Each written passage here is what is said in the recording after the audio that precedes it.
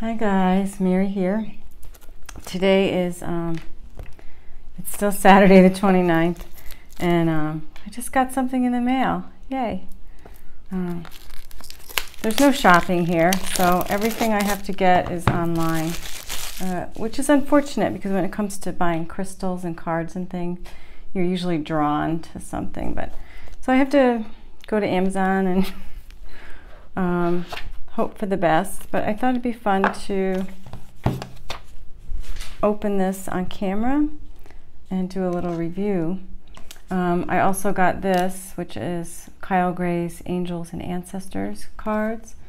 Um, and they're not what I was expecting because they are in. Uh, I just feel like I need to study the book a little bit. They're different. There's there's different. Um, there's the sacred ones and the guardians and the seasons and just different. It's different. So I'm not quite sure about that. I love the artwork. Um, if you didn't see the cards yet, let me show you. The artwork is by Lily Moses for Kyle Gray's deck, and it's beautiful. Look at this. Really beautiful artwork. Um, but the cards, I know he's going for a natural look, but they're a little bit, um, they're hard to shuffle because the it's that natural paper that's there's no gloss on them. So um, I was having a little trouble shuffling them, but I guess I'll get used to them. I'll work with them a little bit and then use them more in the coming months. This um, new um, cards I got is called Whispers of Love. Um, they're new to me, so. And this is by Angela Hartfield.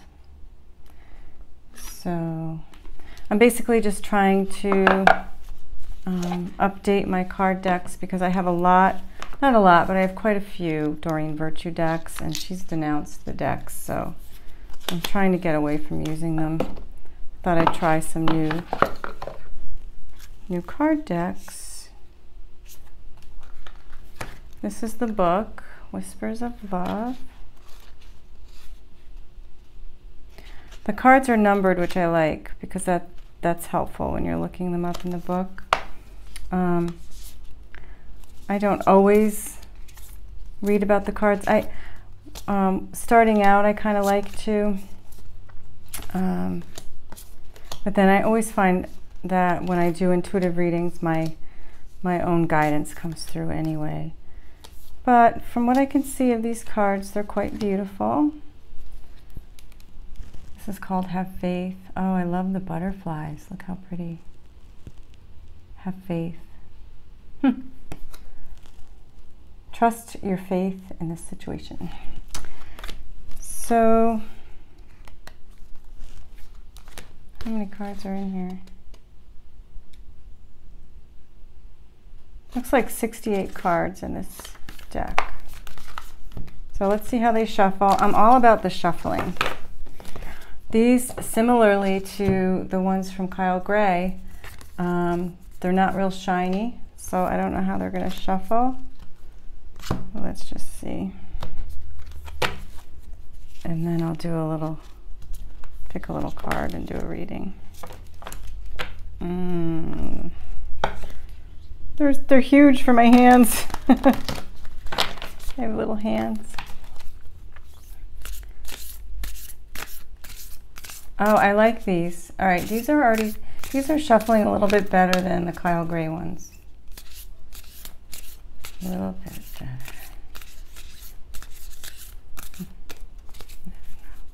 I have to get used to the decks. Kind of big.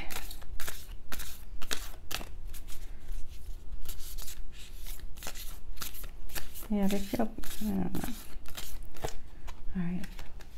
Takes me a while to get to resonate with a deck of cards. Demonstrate love. Find out what is important to the people you love and act on it. Demonstrate love. Oh, I need my glasses.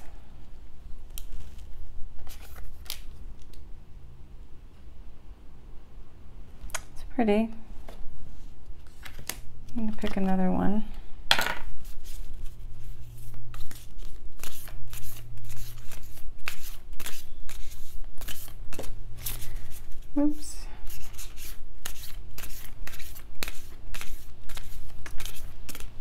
Was just on Facebook, which was a mistake. I don't go on it often, but because I live on this little island, sometimes it's the only way to connect with people, my family friends who I don't live around anymore. and also for like the restaurant owners and things around on the island. It's kind of how we get messages and stuff to each other. Um, and this time of year, a lot of people are going away. It's the low season. They're closing, and you just like to know, you know, who's open, what the hours are. But I saw some stuff very polarizing. Man, this country is so polarized right now. And it's like, I know why. I see the big picture, but it's still really hard because um, I just don't agree with all my friends and uh, you think you know somebody and hmm, you really don't. You don't know everything about them. Not that there's anything wrong with having your opinion that's different than mine. It's just hard for me to understand it. And uh, I really have to take a good hard look at myself, what I'm mirroring. What is it in me that is being so triggered by someone who doesn't agree with me, right? Um, honesty is essential. So you can see someone wearing a mask. Um, so that's about like hiding who you truly are. And then the moon, secrets coming out. Looks like they're at a masquerade party. And it says, to be a loving person, it is important that we speak truthfully and in a loving manner. Number 38. Well, let's look this one up. 38. Love the numbers. Some of the card decks are not in alphabetical order and they're not numbered, so it's kind of hard to find. Um, but this um, says, Love seeks to do what is best for another person Speak honestly, tell the truth about your emotions. Use this as an opportunity to clear the air and turn this into a positive outcome. I like that. Very nice. And I'll read this one, Demonstrate Love, number 48.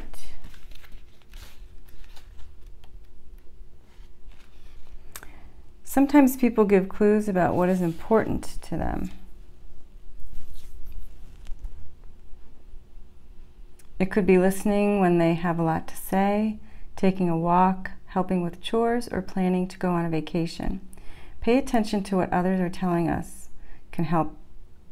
Paying, oh, pay attention to what others are telling us can help us understand how to love them better. Ah, yes, paying attention, being aware.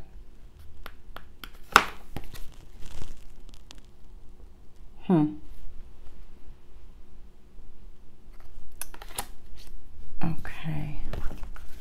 It takes me a while to get used to card decks. Um, I have to work with them for a little while. Oh, the artwork on this is Josephine Wall. Josephine Wall. Okay. I think I'm going to pick another card from this Kyle Gray deck. Still not, not feeling the shuffling of this deck.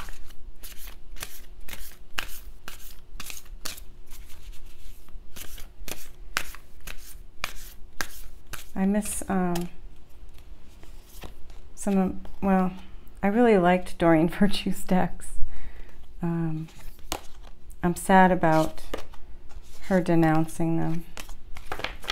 But she's on her own path and I'm not I'm not here to judge her. Um, the card that came out is Oracle. Wait for important information. You know, um, one thing I've learned from meditating um, and asking for guidance is um, is the part about listening. Um, I have lots of questions and I ask for guidance all the time. It's the, it's the sitting and waiting for the answer that's hard, right? Um, that can be difficult, but uh, it's important to wait for the answer. It's important to just sit and listen. And I'm an Aries, not so patient, um, so waiting for an answer can be difficult for me, but uh, it's important to sit and, and listen. So, um, and sometimes the answer isn't what you expect, right? Um, when we ask for something, we usually have an idea of how we want it to be answered, and then the universe will answer us in a way that we weren't expecting, and it can be like, oh, that's not what I wanted. I wanted it to happen this way. Um, but you have to trust that the universe knows a lot more than we do, right? They have our highest, um, our highest good in mind.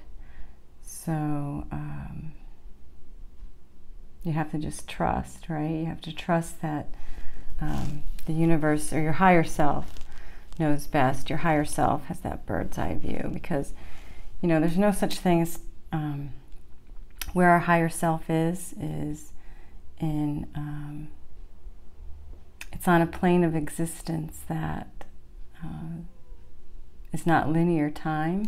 So they can, um, your higher self has a bird's eye view of, of, um, of your life or your many lives. So um, your higher self is always trying to guide you back to where you want it to be for balance and growth, spiritual growth and expansion. So um, knowing when to ask is important, but knowing when to listen even more important and not so easy for me.